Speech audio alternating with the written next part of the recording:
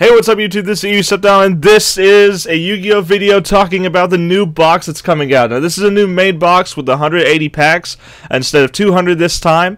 Uh, me personally, I would like it if every pack was just like, every box, I mean, was a mini box, because it'd be easier for everyone to build decks. But anyway, I'm going to be glancing over basically the cards that I think will impact the meta and uh, some archetypes that have been introduced in this box, and some that have been given support. So, let's go ahead and talk, talk about the uh, main art of the box, we got Elemental Hero Gaia. Now this one's pretty simple, straightforward. It can only be fusion summoned, and when it is fusion summoned, you half an opponent's monster's attack, and it gains the same amount of attack that you had from that monster. Uh, so basically, if you have a Blue Eyes monster, it drops to 1500 and this card becomes 3700. Pretty nice, but it's only for that turn, meaning afterwards you're stuck at 2200 attack with 2600 defense. So uh, I don't think it's that great of a card, but I do think it'll have some synergy with the Wild Heart builds that people are doing anyway. Uh, I think that'll definitely be like a beatdown focused deck, and if you wanted to throw in like one poly, you could do that. You could run Bladesman and run uh, Nova Master. I, I think the generic hero fusions with the attributes are going to see some play eventually. It'll just depend on how many are added into the deck to make, you know, the difference and make the actual archetype of heroes playable. Because right now, Elemental heroes just don't get played.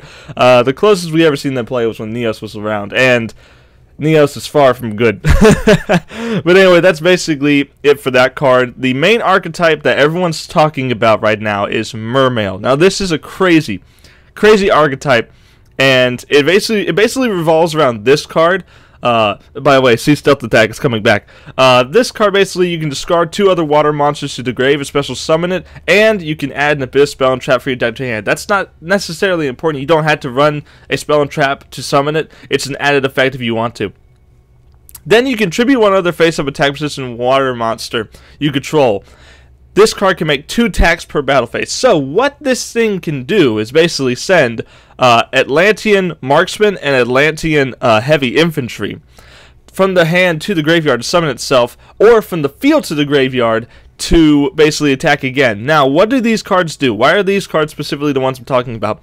Well, when Marksman is sent to the graveyard to activate a water monster effect, you destroy a set card your opponent controls, and then Infantry you destroy a face-up monster your opponent controls. A card, excuse me. So, it's extremely powerful, um, being able to do this uh, just easily just by summoning a card. You're basically getting rewarded um, for summoning it. It's not really much of a cost if you're using these things as the effect to bring out Abyss Megalo. So it's it's really good, uh, as well as some more Mermail stuff. This deck's gonna be expensive as crap to build, by the way, because there's only two super rares per, you know, in the main box. There's two of each, so you get two of this one, uh, two of this one, and then of course two of heavy infantry, and then you only get one Abyss Megalo, which is a card you want multiple of. So what does Abyss Spike do? Uh, or Abyss Pike? I don't know.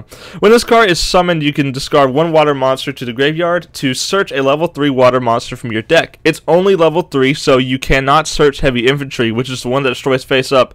And in a way, I'm glad, because I feel like searching Destruction would just be Mermails all... Not Mermails, uh, For Hire all over again. And, uh, For Hire got, you know, nerfed on the ban list, so, I mean, there, there's a reason why we should go there again. anyway, we got Marksman basically is searchable by this, as well as some more Mermail stuff. We got Finding Nemo. We we got Abyss Gunday. I guess that's how you say her name. It discards a card to the graveyard. You can target one Mermail monster in your grave and special summon it. And then the other one, uh, Abyss Hilda, if this card is sent to the grave, you can special summon one Mermail monster from your hand. So basically, send to the graveyard. Abyss Megalo does this effect. Uh, Abyss Spike does this effect. And Abyss uh, Turge does this effect as well. When he's summoned, you discard a water monster and target level 3 or lower water monster in your grave and return it to your hand. Now this is interesting for searching, uh, well this one more for searching up here, this, the super rare is for searching, but this one's for recovery. I definitely think playing one of this card wouldn't hurt, especially because his attack is still pretty good, 1700. If you're playing the Umi uh, field spell ability, which I highly recommend with Sea Stealth Attack, uh, this thing gets to 1900 and Spike gets up to 1800. So that's pretty good. Pretty good attack stats, pretty good effects, uh, searching, recovery, stuff like that. And then we got some more Mermail stuff. This one takes 3 to summon, so it's not as good, uh, but it does have higher attack. And you can, of course, search a spell and trap uh, an Abyss Spell and Trap card from your graveyard to your hand. So it's kind of like Recovery, uh, similar to Turge, but you contribute one other face-up Mermail monster, send one random card from your opponent's hand to the grave. It's not, I, I wouldn't say this card is worth running, uh, just because it takes three instead of two. This one's easily the best and most versatile, despite having uh, the lowest attack. It basically can attack twice and has 26 while Umi's on the field. And if you have Sea stealth attack, your opponent can't even attack it. So it's pretty it's pretty busted. It's pretty good. So I don't know why you would ever run this card. Uh, as far as Mermail goes, they have some equipped spells, but they're not really that crazy. Uh, it gains 800 attack when this when a spell effect disactivated that targets uh, your that targets your monster equipped with this card. Uh, negate that effect and send this card to the graveyard. So you can protection, basically give him protection from spells.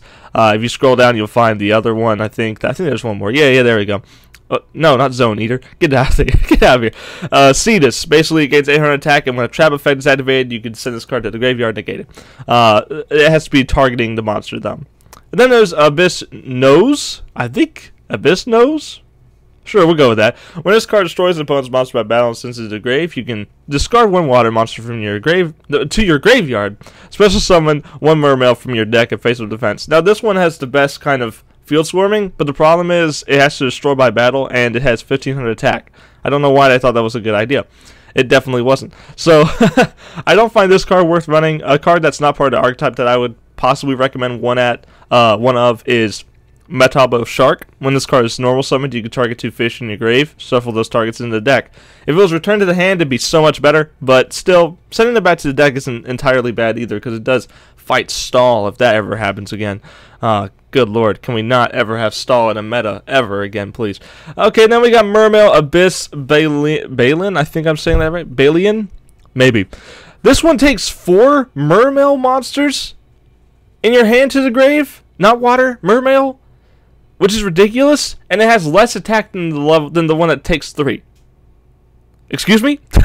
uh, basically, when you do target cards your opponent controls up to the number of Mermail monsters in your grave, which at this point would be at least four, uh, this card gains 5 for an attack, uh, and if it does, destroy those targets. Then you contribute one other face-up attack position Mermail monster. This card gains the following effect this turn. At the start of the damage step this card, battles a defense position monster, destroy it. Now, that's a bit overkill. I'm going to be honest. That's quite a bit overkill. because, first of all, this thing's impossible to summon in this game because you had to discard four. People don't play this card in real life. There's a reason. It, it's, it's pretty bad. But it's it, it it's it's it's there. It's there. If you want to use it, it's there. But I just don't recommend it. Um, as far as any other Mermail stuff, it looks like that's pretty much it. Uh, as far as the spell and traps, they gave them their two equipped spells uh, for spell and traps, and that seems to be it. Um, if I were to recommend whenever you're building this deck and you're buying the box and stuff like that, uh, I recommend at least running one Abyss lead until you can get multiple Abyss Megalo. I think it's just a good idea until you can get it. At least have something similar to it um, that you can use and get used to, kind of whenever you're playing the deck. So it somewhat makes up for it, but not really. Now, obviously, if you want a real kind of substitute for it, I would go uh, whale, which is really good. Like the you know the whale, the stronghold uh, whale. I can't remember the name of it. But basically, it adds sea stealth attack to your field. It sets it face down, and if you have Umi on the field from the from the uh, ability, you just kind of win. You just kind of win at that point. Uh, your opponent has to destroy that um, card, and it's basically hard for them to do that if they don't have uh, proper spell and trap destruction. Speaking of spell and trap destruction, Galaxy Cyclone's in the game. Target one set spell and trap on the field, destroy it, and during your main phase, you can banish this card from your graveyard and destroy one face-up spell and trap on the field, but you cannot fact and you cannot activate both effects per turn. Uh, so it's pretty good. It's it's honestly, in my opinion, the best spell card to destroy stuff. It's not quick play though; it's only during your turn. Uh, but it does get two uses, uh, and I think that's something to look at. The only thing is, of course, it does not hit Amazoness um, Onslaught immediately. Uh, so I think what we're going to see is a lot of people just activating Onslaught at the beginning of the turn, like during the, the opponent's draw phase, just so you can't activate this card and destroy it while it's set face down. Uh, I think that's what we're going to see. And then after you activate this card, next turn they'll know, well, my Onslaught is gone. I think Amazons are definitely getting hit super hard uh, with this box coming out with Galaxy Cyclone. Uh, but at the same time, I still think Amazons is going to be good. It's just going to be harder to play it because more instant access to destruction spell and traps is in the game now. And the reason I think they added this card in particular to this box is because they freaking added the best mirror force. This this in my opinion is the best mirror force because it it doesn't destroy, it doesn't send to the grave, it doesn't banish. No, it just straight up sends them back to the freaking deck. It's so broken. I, I don't know why. Like I always thought, okay, widespread ruins in the game. Next thing's coming up is Sakuretsu armor, right? That's the logical progression is is going from the worst and then going to the best in order. But no, they just freaking skip everything else and go to this. Why? I, okay, I can, I can somewhat understand like the limit of this card, right? It, it has to be a direct attack. But you know what this does? It means that it means that Destiny Hero Mask Hero is completely dead. It's completely dead because Anki, if he attacks directly, oh, I'm just gonna activate Drowning Mirror Force. Now your entire field is gone. That sucks. That freaking sucks to play against. So to counterbalance it, I guess they added Galaxy Cyclone, the instant destroy one set card, uh, spell card, to basically destroy this. I guess. Uh, this is also a good answer for Treacherous Trap Hole if you're going first. Activate this card at the beginning of your turn before you summon anything at all. Uh, and it's really good for doing that. So that's basically what I gotta say about the two cards that can pretty much fit in every deck at this point. Um, it's it they're crazy. I cannot believe Konami added. I cannot believe Konami added the best Mirror Force. Why? I guess if you were to you'd say like a rival to it would be the um, Storming Mirror Force. I think is what's called. It returns them to the hand instead of destroying them. I guess that would be the next best one.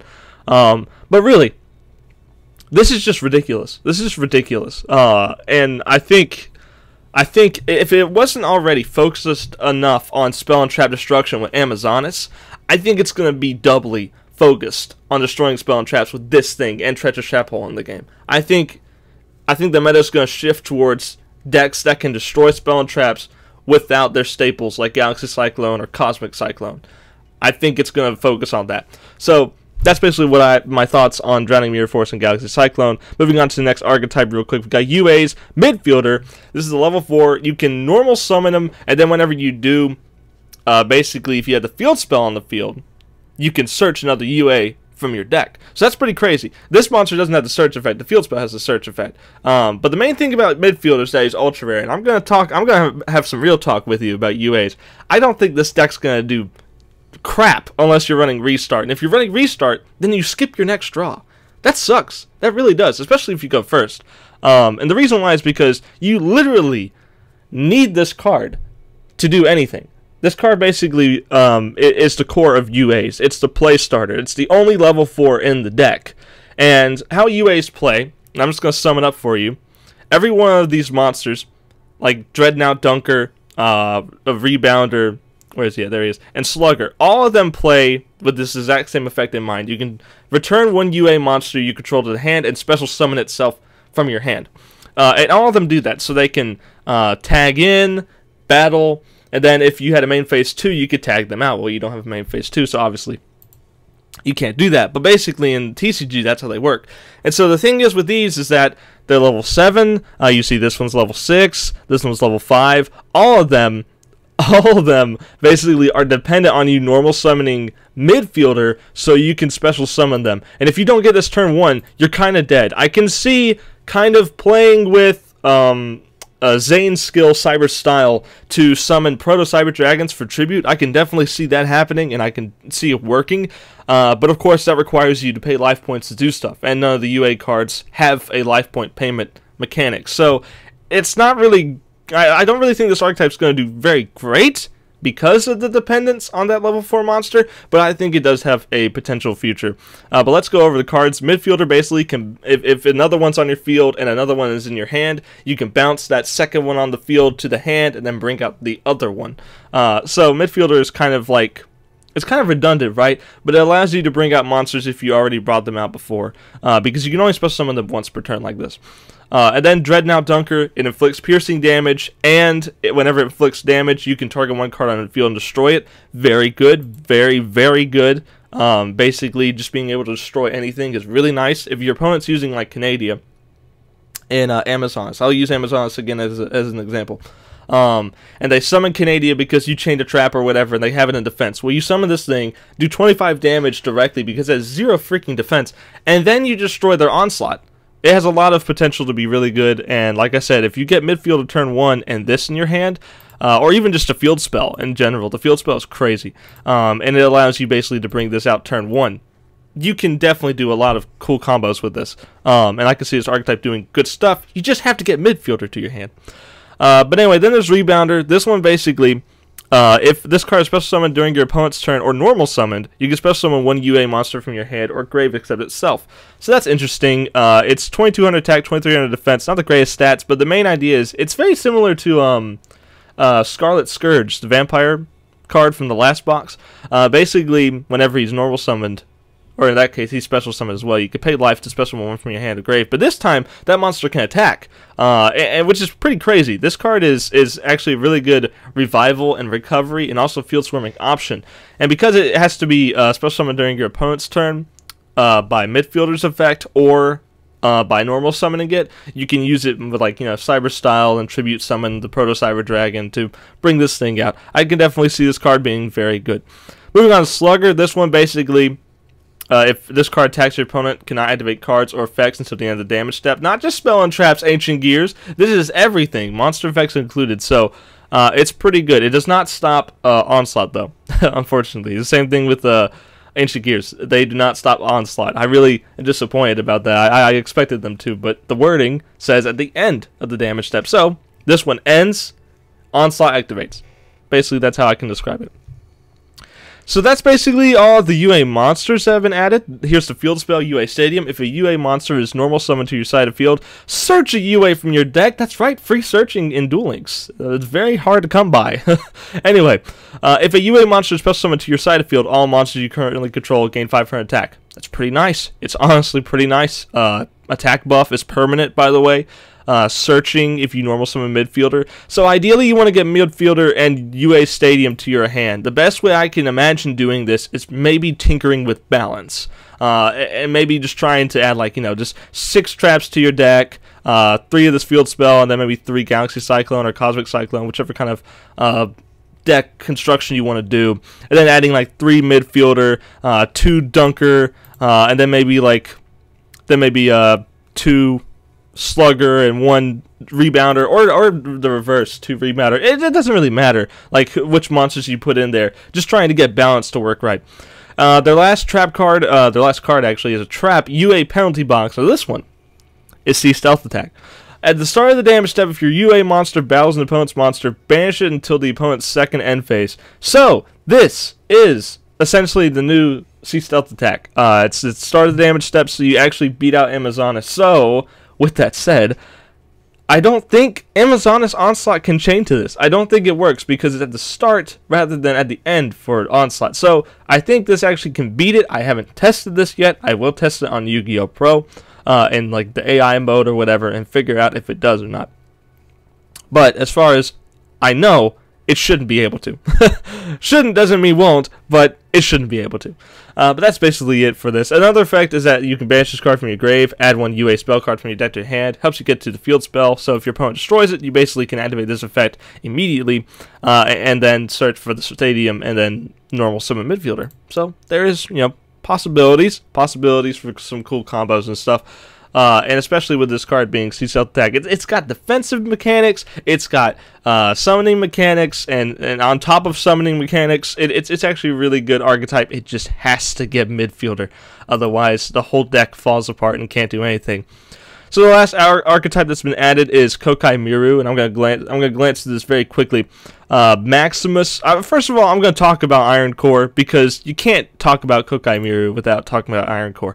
So what is this card? Essentially nothing. It's Draw Sense Koa'ki Meiru. uh, basically, during your draw phase, if it's in the grave, you can add this card to your hand instead of drawing. Or send one Koa'ki Meiru monster from your hand to the graveyard to add this card to your hand. So, you can do one of the two.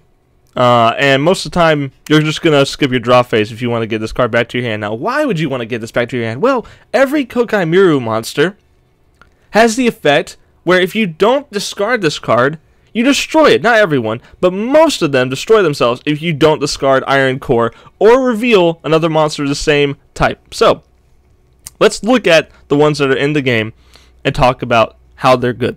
Or bad. So we got Sandman. Enter Sandman. Dun, dun, dun, Okay, anyway. Uh, basically, like I said, the destruction effect, or you reveal a rock type monster in your hand. This is good for magnets. I've been testing this in Yu Gi Oh! Pro. This is really good for magnets. I think magnets might make a comeback. During either player's turn, when your opponent activates a trap card, you contribute this card, negate it, and destroy that card. So, a monster for a trap. Onslaught. Do you see a lot of Onslaught hate in this box? Because I'm definitely seeing a lot of Amazoness hate. 1900 attack. It's a monster of a monster, and it's just it's it's really really good. It negates traps. It, all, it had, all you had to do to keep it alive is reveal a rock. If you're playing magnets or any other Koa'ki Meiru deck, you should be running lots of rock monsters anyway. So it's a really really good card. Then you got Ur Knight. I think I'm saying that right.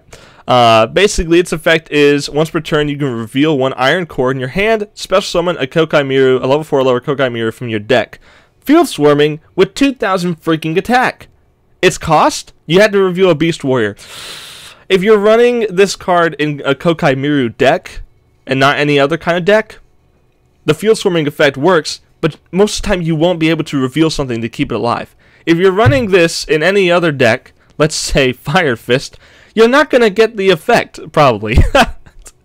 you're not going to get the effect. Uh, it can summon it, it, it can, it can, like, basically summon monsters to the field. But unless you have another one in your hand, you can't really keep it alive unless you're discarding iron cores, and you don't want to be discarding iron cores.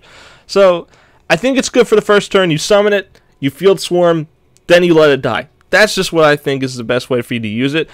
Unless you're lucky and you have another one in your hand. Then you can keep it alive and do it next turn. Uh, but other than that, I think it's a really good first turn field swarming mechanic to bring out Sandsman, Sandman and then keep Sandman alive with the plethora of rock types into archetypes. So let's talk about more of those rock types, right? Let's talk about prototype.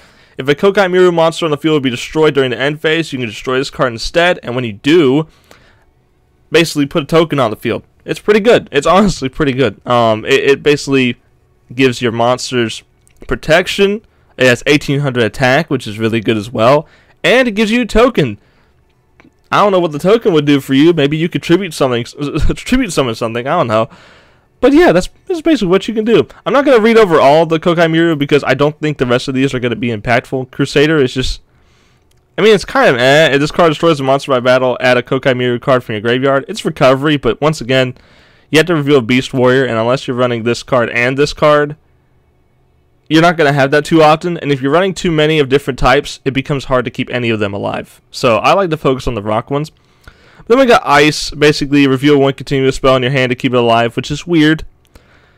But you can send one card from your hand to the grave, destroy one special monster on the field. Now that's a pretty good effect. Maybe run one of this card, but you have to run a face uh, a continuous spell card. Why? Why do you have to reveal that instead of like an aqua monster? That would have made it good and you know, sea stealth attack.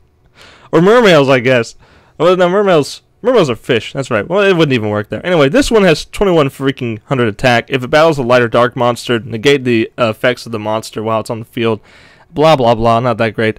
Uh, Seed Panther. Once returned, send one Iron Core from your hand to the grave to return one spell card from the graveyard to the top of the deck. Sucks. Don't use it.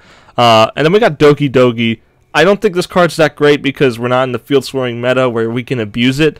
Uh, but it can bring uh, rock monsters from the deck. so, I mean, if you wanted to do that, all you had to do is discard a rock monster. But once again, if you discard your rock monsters, you can't keep your monsters alive. So, I don't think it's that great of a card. Uh, but anyway, then we got this one. This is one I think is going to be really good. Boulder. When it's destroyed by battle and sent to the grave, you can add an Iron Core or a level 4 or lower Koa'ki Meiru monster from your deck to your hand. I think it's really good. It allows you to search for core, and it's currently the only way to search for it. So why not run it?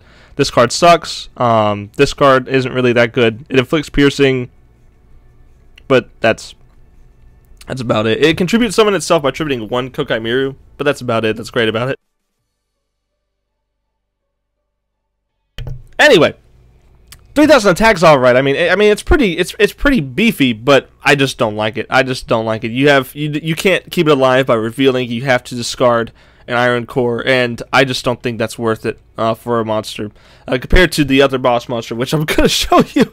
it's pretty good, uh, and that's pretty much all the monsters I want to talk about. So I'm gonna go ahead and go to that boss monster. Maximus cannot be summoned or set unless You special summon it by banishing an Iron Core from your hand. Holy crap! You can't get that thing back! Now, let's talk about why it's worth it to do this. 3000 attack.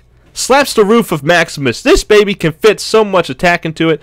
Uh, but also, you can, for free, destroy a card your opponent controls. No cost. Just absolutely just do it. You don't have to discard Iron Core. You don't have to tribute anything. No, no, no. It just destroys for free.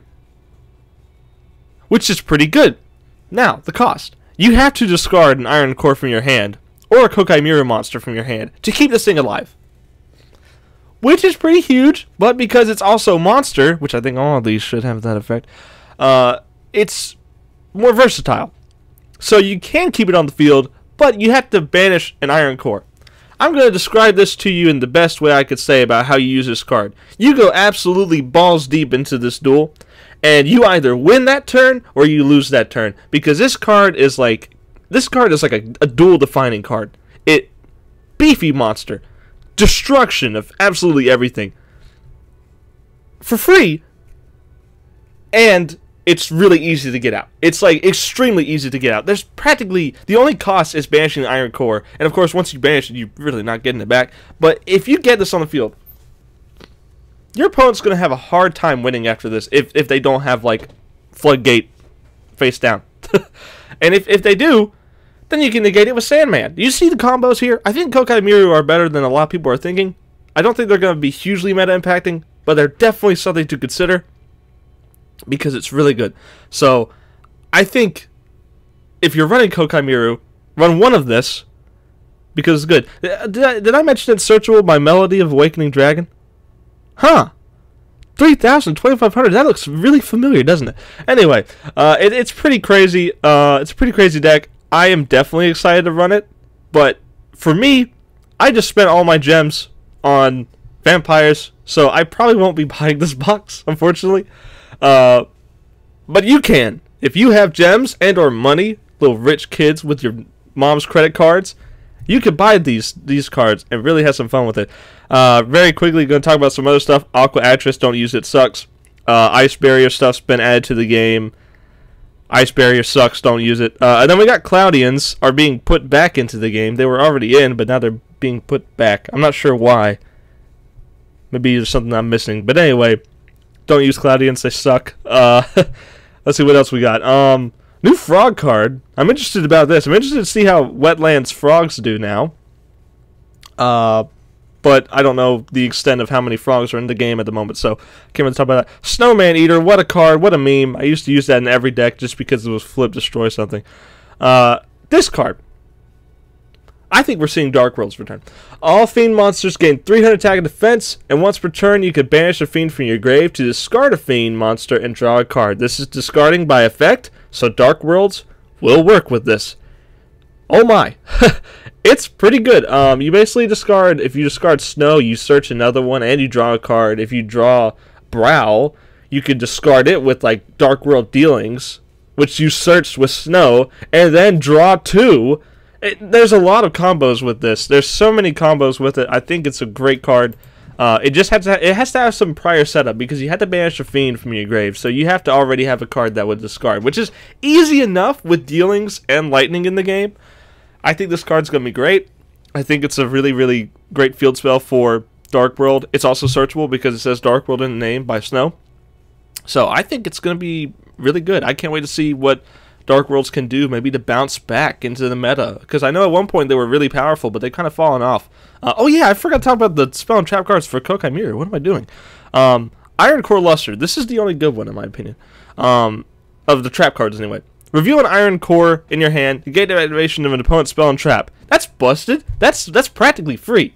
You don't even have to discard it. You just have to reveal it. Like this card was way before its time, I think, uh, but it's pretty good. This one's like Mirror Force, but you know it would be good if they didn't already add Mirror Force.